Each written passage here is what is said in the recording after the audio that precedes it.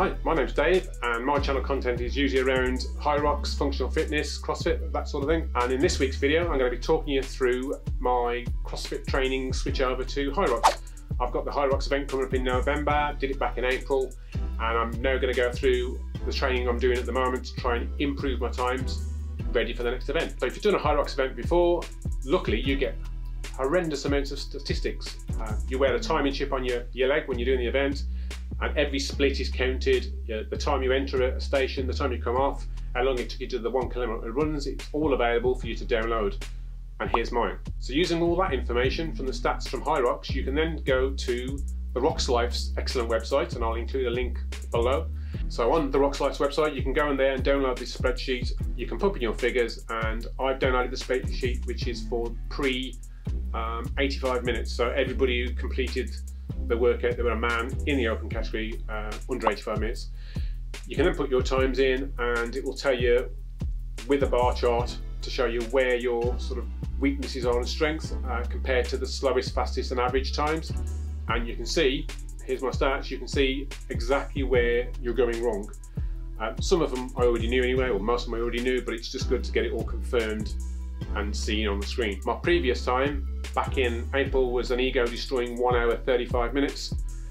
Um, if you've watched my previous video, which I'll link up below, um, a lot of that was, well not a lot of that, but some of that was down to me stupidly doing things in the wrong order and then spending some couple of minutes trying to resolve it with judges about what I was supposed to be doing. And then my head dropping and going down and my mindset not being up to scratch for the remainder of the workout because I knew I'd got a penalty and I knew my time wasn't going to be that much good. I also had a cold the week leading up to Hyrox, so that might have had some bearing on it, but I felt all right on the day, so we're not really sure. Uh, but I think my natural time without penalties would have been about the 129, 130 mark, and and then I can see straight away looking at the RoxLyfe's um, spreadsheet information looking at my footage and my videos exactly where I went wrong. So looking at all the information available, I think my target time should be an easily achievable one, one hour 25, but my actual time I'm looking for is probably a one hour 20. Um, that'll be a, a, a, nice gain on last time round with the train I'm going to be putting in, so we'll only have to wait and see on the day. Target time of 1 hour 20 would have pushed me up about 14, 15 places on the leaderboard if you take out my penalty as well. So um, that, in, that was in my previous age category, which is 50 to 54. Since then, I've had a birthday. Unfortunately, I'm now 55.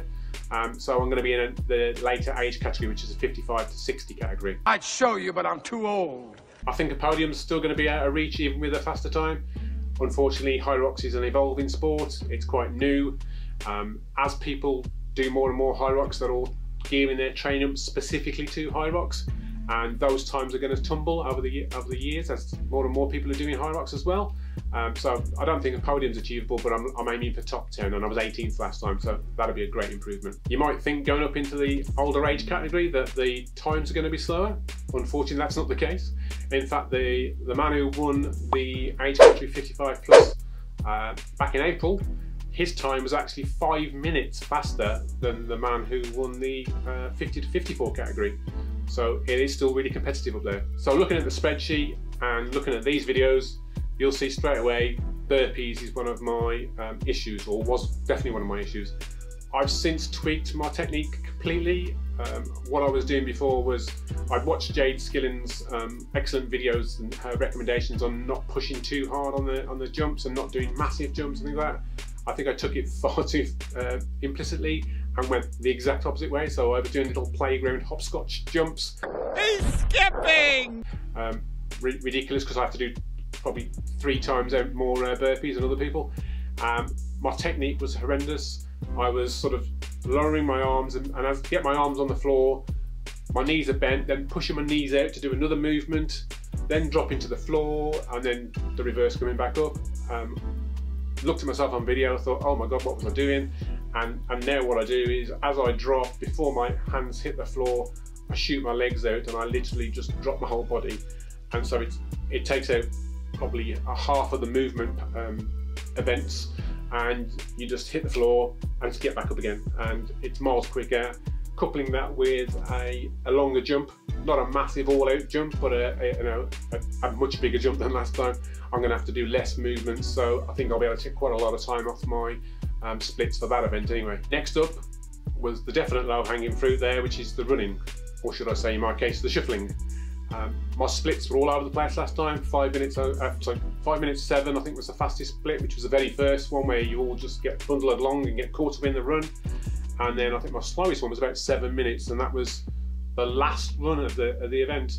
Um, I would have thought that I, I think my head was down, my mindset was going because I knew I was going to get a slow time, and, and I was just sort of plodding through the run, and so I could easily get a minute or two there in just that one split.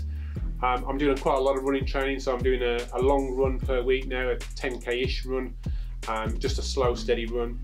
Um, been doing some interval running, um, actually out on the roads and on treadmills to, to improve my speed, and that's been working really well. And then like another sort of mid-range five, six k run uh, in there as well. So, and I'll probably do a little bit more running, even more so as I get much closer to the event uh, to get my running speed up. And I'm aiming for a sub five minute pace on every split from that point. So I want to get them more consistent because, like I say, 507 to 70 something, I think, was my splits. I want to get them all bundled around the five minute mark. If you look at the really good um, um, elites, uh, their times are much more consistent uh, than, than anyone else. They, they, you know, they sort of have a pace in mind and they stick to it rigorously through every single split. So that's what I want to try and do is trying to maintain a split time rather than being all over the place. So that's a low hanging fruit, the uh, the burpees and the running. Uh, but I've also got, if you look at the stats, the, the weighted lunges weren't very fast. So I'm working on those now. Um, sled push and the wall balls. Well, the sled push, I've completely changed my technique. I think I've mentioned this in another video, but basically I was doing an outstretched arm routine with my elbow, weird elbow, where I can't strain it fully. That's a bit strange. I'm putting more stress on one side of my body to compensate, I think. And the and the sled doesn't go perfectly straight. It slowly but it really veers off, and then you're having to correct it. Um, you obviously can't breathe as well either because your, your head's down, your diaphragm's constricted, so you get that issue. I've tested uh, a few times since then of that, that close in routine where you can actually get the, the bars of sled and hold it right in. The, the sleds are supposed to be new this year um, globally, so that's going to be interesting to see what sort of sled pattern, what, what it actually looks like, if it works the same as everything as before. Shouldn't be much of a difference, but um, hopefully that holding it in tight routine um, is going to be much faster for me and, and get the sled moving back and forwards and improve my time. My farmer's carry showed us a really slow uh, routine for the other one, but that's not because it was slow, it's because the penalty for doing all the events in the wrong order uh, got added onto the farmer's carry. So the three, there's a three minute extra time in there that wasn't really part of the farmer's carry. So I did the farmer's carry in a couple of minutes really. I've since tested it because I did put the farmer's carry kettlebells, kettlebells down halfway through. I can easily do um, the 200 meters, I think it is, uh, without putting them down. So I won't be doing that next time. I'm just going to be getting through as quick as I can. The less time under tension. So the quicker you do it, the less time under tension, the more you, you, can get on with the next event. So yeah, that's my plan for that event from now on. Quick diversion, regulars can skip ahead. If you're not a subscriber, and there's plenty of you out there watching my videos unfortunately, uh, please go down below and hit the subscribe button. While you're there, hit the like.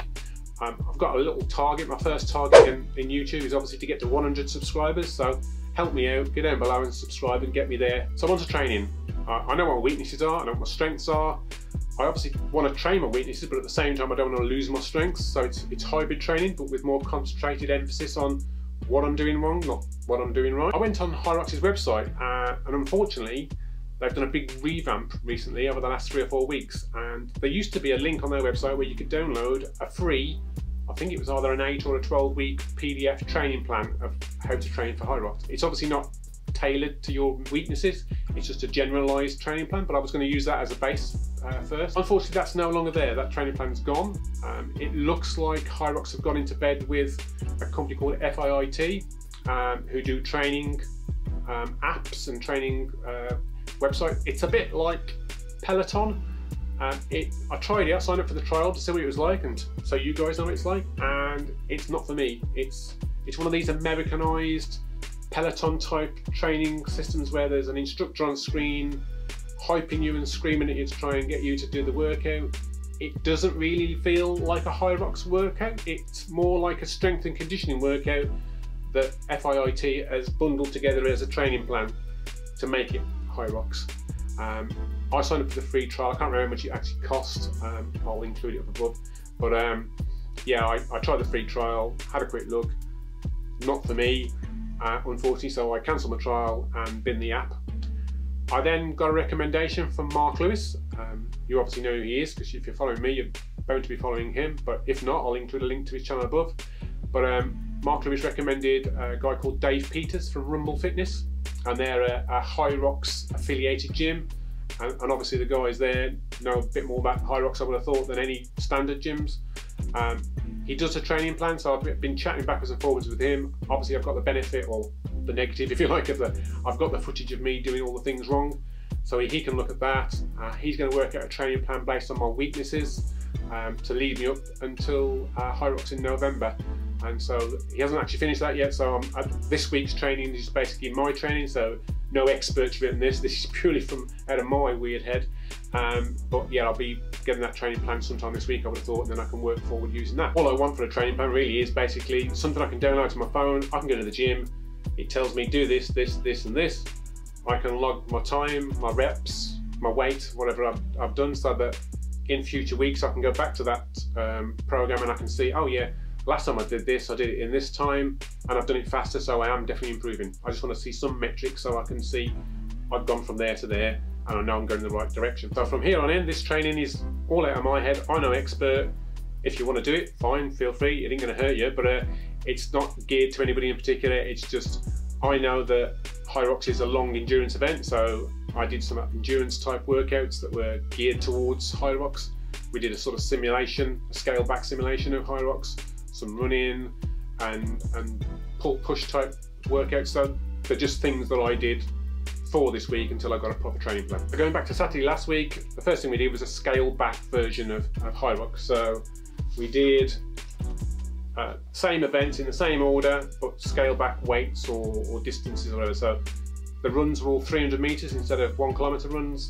Um, the ski and the row events were 250 meters instead of one kilometer.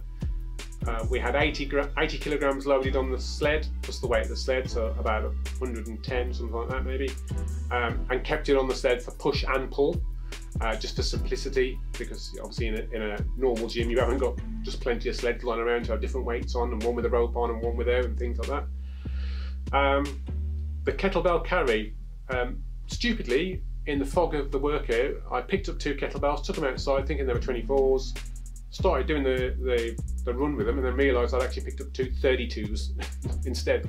I'd had a bit of a Freudian slip and thought I was going for pro. Um, so they were heavy and um, I had to drop them halfway, but I did do um, 150 metres, um, 75 metres down, dropped the kettlebell, shook my arms out and then ran back again. So yeah, it was interesting to do it with 32s I think. Uh, did 40 metre sandbag carries with a 20 kilogram sandbag. Um, I need to improve my capacity there because I could do sort of half of it uh, full strides, and then the second half I was doing the sort of half steps you do where you you sort of get your legs together and then step out, get your legs together, step out. Um, so I want to work up to be able to just do consistent strides. And then we did uh, 40 meters of burpee broad jumps because the gym was quite busy. People are uh, um, practicing for team events for the Arnold Fitness, Fitness Games. So there was gymnastic ramps in the middle of the thing. So we didn't want to get any of these ways, so that's all we did. And then I finished with um, 50, 60 kilogram wall balls to finish. Um, you'll see the video. It's um, it was quite interesting. It was good for my daughter to go through because obviously it's the first run through of the distances and things like that. So we're just scaling up from there. Uh, we paced it, and yeah, I think oh, on the wall balls. Um, the the technique I had in previous on the previous videos was I would catch the ball, the ball would come down to here, and then I'd squat down. And obviously, the squat down, you actually pivot slightly, and so the weight actually comes out. So you feel it all on your shoulders and your arms. Um, I looked at a video myself and thought, oh my god, what am I doing? And daughter pointed out as well that instead of like dropping the ball right down to here, keep the ball up here by your face, and then when you squat down, the ball doesn't tend to roll forward as much it's so much more easy. Um, and just by doing that made a massive difference to my wall ball. So um, there's definitely a tip there that whenever you're doing any workouts for Hyrox, film yourself on your camera, on, on a phone, uh, you know, anything that you've got available to, to film, and then look at it later later back and, and see straight away what you're doing wrong. You know, compare your technique to somebody who's doing it right. compare your technique to somebody who's doing it fast. And then see what they're doing differently and adjust as necessary. So as I said, it was just a paced workout, um, first run through for my daughter to do it. We finished in just over 36 minutes, so you know, there's a target for you if you want to do the same sort of workout. Um, got to get my daughter uh, I've got a, obviously a Garmin Fenix, um, a heart rate monitor strap as well to go with it. Um, my daughter's got nothing at the moment, so we need to get her something like that. Uh, it's one of the few things, a few weaknesses she's got at the moment is the, the running so um, if she can see her heart rate, she better start doing zone running and see how much she's actually pushing herself to get into the feel of that. Trying to understand which sort of heart rate monitor to go for. I obviously don't invest a huge amount of money um, initially, just in case it doesn't get used a lot. Um, I've seen MyZone out there, I've seen Garmin, uh, Fitbits and things like that. Um, if you use one of them, um, leave me a comment down below on what, what you use and you know if it's good for you, so I can decide which one to get for her. Sunday was just a rest day, so um, did nothing really, a bit of stretching and that was about it, uh, and a kind of walk. On Monday, it was a bank holiday here in the UK, um, so I went off and did a, a 10k um, very steady zone 2 run. Uh, wore my water pack because I'm trying to get used to that, to use that for Hyrox in November, um, and that works a treat. That's a Mark Lewis tip for you. Um, and um, yeah, luckily the, the weather here was phenomenal. The sunset was incredible. Uh, i did it obviously later on in the day uh, when it's a bit cooler here in the uk because we've been in such hot weather you didn't want to do it and get like wiped out by the heat. Um, on tuesday i i did a deadlift um, pb test just to see it, obviously there's a lot of lifting and grip things that are, are in Hyrox, um, farmer's carry for instance and things like that. And so i thought i'd just test that as a, as part of my workout. Um, I did a deadlift of 155 kilograms. Um, my technique wasn't bad, it wasn't good either. I, I sort of pivot forwards before I actually start the pull for some reason. And again, film your film your workout because it's great to look back on and say, okay, that's what I was doing wrong. That's how I can improve. I followed up my um, deadlift test with a, a like a, a, a, routine. It was a 45 minute time capped um, AMRAP, and that was a 600 meter run, a 500 meter ski, 600 meter run, 150 meters of unbroken farmer carries with two 24 kilogram kettlebells. I've got the right weight this time. And uh, 20 wall balls with a 9 kilogram ball, so the heavier ball. Took it slow and steady. I did in the end two full rounds, and I just finished the farmer's carry on the third round. So, again, if you want to go through the workout and beat me, which you should be able to quite easily, then uh, that's the time I was doing it in. Uh, Wednesday, it was an active recovery day and mobility as I get older, mobility becomes more and more key. Um, my hips are so tight. Um, I feel it in squats, I feel it in the wall balls uh, particularly. And so I've been doing a lot of mobility to try and help with that. So Thursday, I decided to do some intervals on the curve runner. So there's maybe you have a runner on these before, it's an assault runner. Um, it's a treadmill without a motor, uh, is the easiest way to describe it. So it, it's shaped like this, and you sort of run about two thirds of the way forward uh, where the slope is, and, and, actually the action of your feet landing and the weight of your body pushes the, the treadmill to start moving.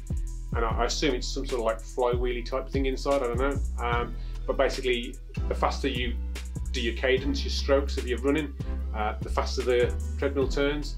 The only problem is obviously if you start, start slowing down, the treadmill's got some sort of um, momentum going for it and it'll carry on pulling you a little bit. Um, it's quite hamstringy when you're running it, so it does feel completely different to running on a on a motorized treadmill. Um, whether it's better or not, I'm not sure, but it, they're definitely a, a, new trend in the um, fitness market nowadays, and our gym's got one luckily. So I decided to do some treadmill um, intervals. Yeah, so ours is an assault runner. Um, never really used the, the control panel before the display, but I couldn't figure out how to do um, a run and then a recovery. So what I wanted to do was uh, a two minute run followed by a 30 second slower paced recovery, and then two minute run, and the same again 10 times. Uh, it only seemed to have work or rest, and when it rested, nothing was, you know, it wouldn't clock up anything. So I didn't want, I didn't want to do that. So I, I ended up having to do two minutes faster run, 30 seconds off the assault bike, off the assault runner, sorry, completely resting, and I did that for 10 rounds. Um, I was trying to maintain a fast pace on the two minutes, so using it like interval training. So trying to boost my pace up. So I was trying to maintain around the four and a half minute pace. It sounds quite easy, but on, a, on an assault runner, your pace fluctuates so much. It gets it, it probably took me four or five rounds before I got to the point where I could sort of consistently keep my pace within sort of 10 seconds of where I wanted it to be. Um, I finished off after the um, all the intervals, and I was trying to maintain an average of 4:30, and I managed to get 4:32 as my average pace throughout the turnaround. So I was chuffed a bit with that. Um, obviously, that's 30 seconds, 28 seconds faster than what I'm trying to aim for uh, on the event, but without any workouts and smaller distances. So, yeah, I'm going to be working my way up to doing longer workouts like this with longer distances to to give me an idea of how it works. As I said in my previous video about the WOD-Proof app and rowing and technique and things, look above. Um, the WOD-Proof app also allows you to record a workout and superimpose and overlay the information from the uh, Concept 2 range of rowers, skiers and, and bike ergs onto the screen of the video. So here's the video I did. Uh, I did a 5k row and basically I was just trying to um, keep in a certain pattern, try, trying to follow the technique I'd learned in the last video about how to row better uh, and maintain a stroke rate. Uh, so yeah, here's a video of that. So you can see on the video that the, the calories, the strokes per minute, um, even my heart rate, I was wearing a Garmin uh, HRM Pro, and so that strap also talks to the Concept 2, which then gets talked back to my, my phone.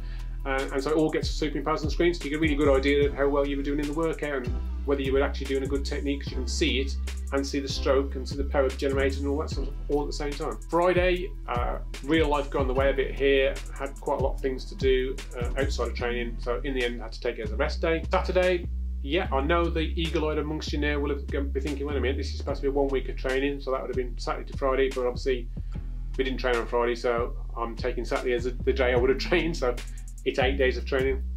Um, my daughter and I decided to go out for a, a, trail run. We're quite lucky. We live by a, a place called Woodby Common, and it's a really nice open air space, hilly, um, different types of uh, terrain to run over. So yeah, we went out for. We aimed to go sort of for a 5k ish run, but over all different types of terrain. Uh, went out with Oscar there, cockapoo, and um, yeah, it was interesting. Um, again, it's good for my daughter to get out and get more running under her belt. Um, we took out our dog Oscar. Uh, he was off, off the lead because you, you can let your dogs run free up there.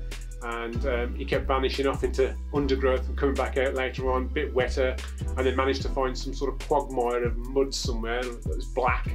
Ran into the undergrowth, came back out with what looked like black Wellington boots on.